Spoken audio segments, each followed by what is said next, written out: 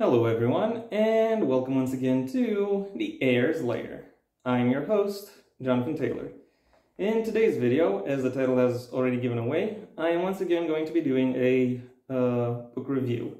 And the book in question is actually among the shortest I've uh, ever read to, you know, in order to review, at least on this channel. That and that uh, text is uh, called Rising by Rohan O'Dougall. Uh, Rohan has already written a few uh, short stories for various sci-fi compilations, and uh, this novella marks his uh, marks the first time he writes longer form literary fiction.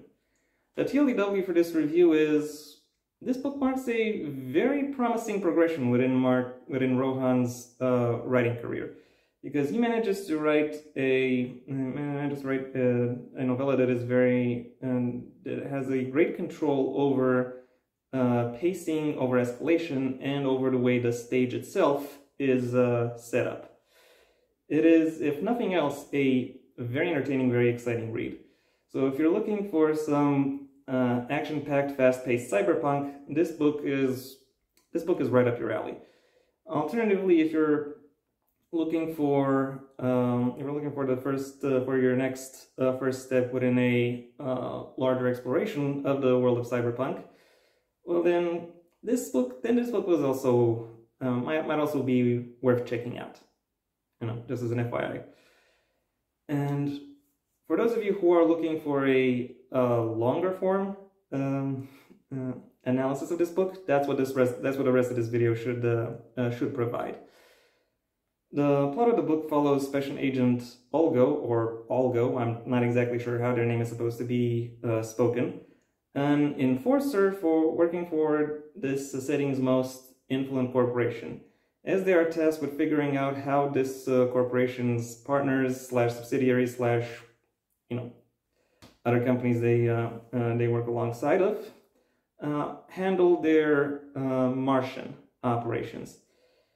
Uh, after uh, spending some time on the uh, Red Planet, Algo soon learns their uh, support structure is uh, somewhat lacking given the new, you know, given the new environment, and has to rely on some homegrown efforts in order to see their uh, plans be brought to fruition. Their mission, actually, brought, be brought to fruition. Some these homegrown efforts also receive some level of some level of the spotlight before they before the two parties actually end up uh, meeting up and uh, getting stuff done. Okay, with that, uh, now that I've gotten that out of the way, it's time I can delve into the uh, positives and negatives of this book. And the most important positive I could mention is the pacing. Because Rohan is is quite adept at showcasing how uh, showcasing how exactly uh, everything moves and how the and how various elements move within this uh, within this situation and how that affects the and how that overall also affects the uh, uh, the stakes uh, within the story. There is there is never a dull moment. There is never a dull moment here, and everything is delivered as it is uh, necessary to be delivered.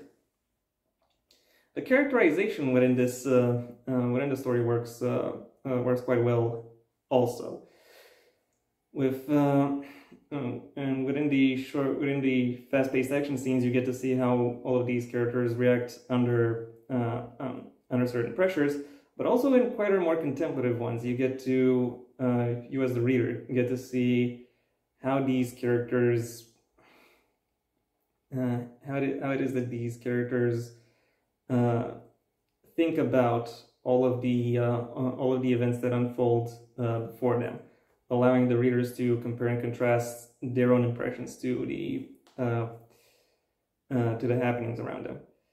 It is uh, it is perhaps uh, somewhat limited given that that uh, player perspective only occurs for the POV characters.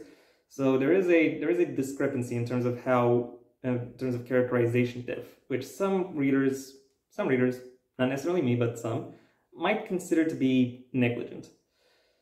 The world building is uh, is done uh, quite interestingly as well, in that uh, in that Rohan manages to succinctly uh, showcase uh, both the various characters within this book and also their relationship to the various um, uh, other elements within them, allowing the readers to better understand what it is that's you know really going on here.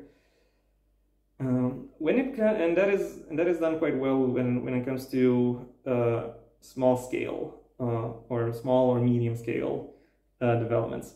When it comes to larger scale developments or even exploring the history of this world, um, Rohan is, uh, may I say, not as skilled. He instead has to rely a lot on uh, simple exposition. It's not as elegant, but it gets the job done.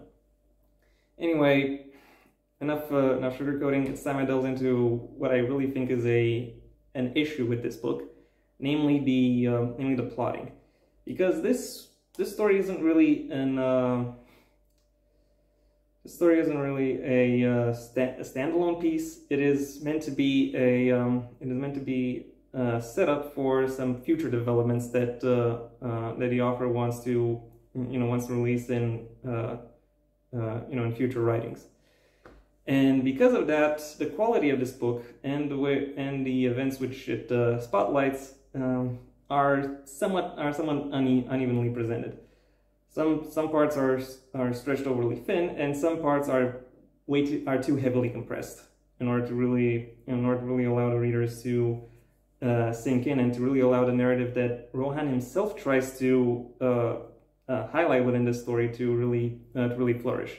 There is a little there is a little too much emphasis placed on uh, what happened in the prologue, which is which really has no influence upon the uh, upon the actual uh, actions of the uh, upon the actual upon the actions that are um, that are supposed to take place on the uh, on Mars, and once and once we're on Mars, uh, the the what is supposed to be the bulk of that what is supposed to be the bulk of that is actually given is actually given relatively um, not not a, not a lot of attention. Rel so yeah, relatively little.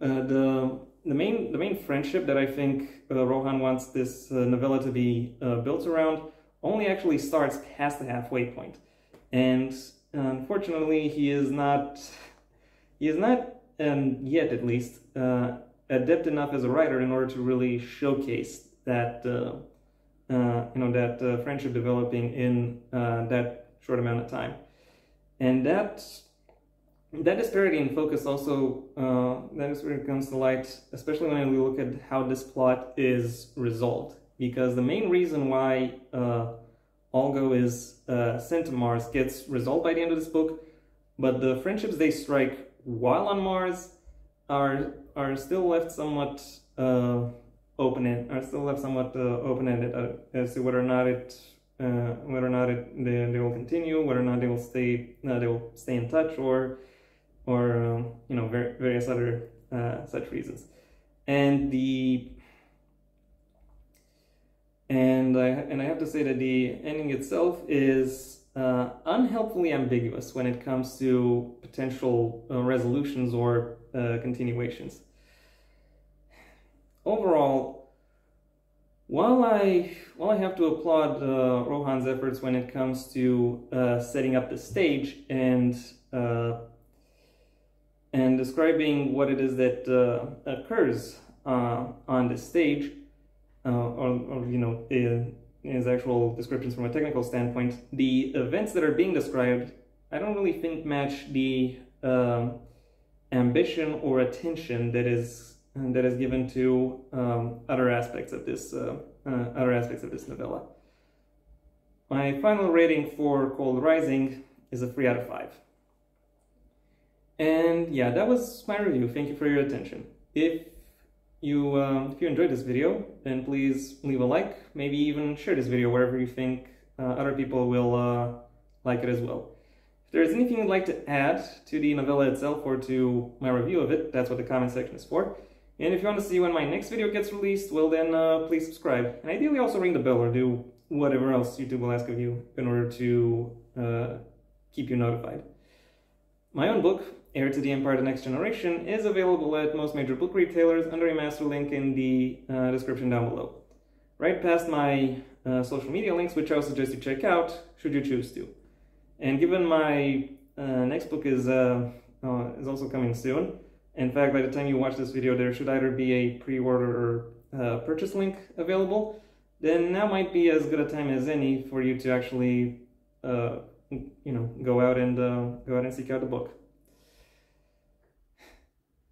Alternatively, or additionally, you can also support me on uh, Patreon, where you will also receive various perks, such as early access to videos and scripts, both for this channel and my second one, because yes, I also have a second YouTube channel. Until next time, I'm Jonathan Taylor, and this has been The Heir's Lair.